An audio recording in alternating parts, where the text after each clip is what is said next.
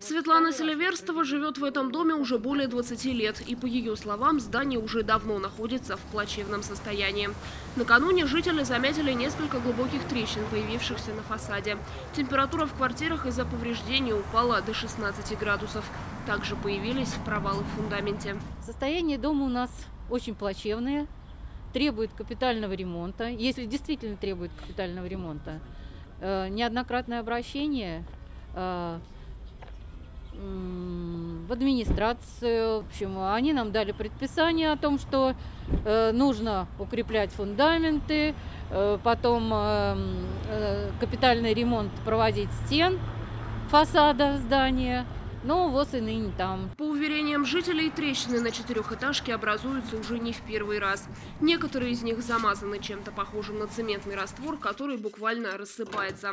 Здание, между тем, не признано аварийным. На заявления и жалобы жителей в домоуправляющую компанию, как они рассказали, никто не отвечает. Никаких мер до сих пор не предпринималось.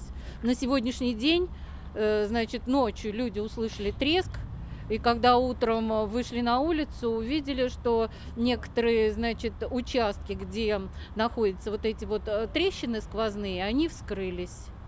Вот. Э, Скорее всего, все-таки здесь дает усадку фундамент.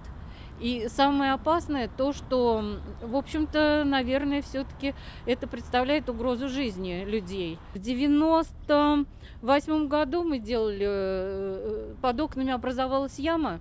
Нам пришлось вызывать домоуправляющую компанию, которая откопала эту яму. И оказалось то, что там вот такая вот трещина в фундаменте.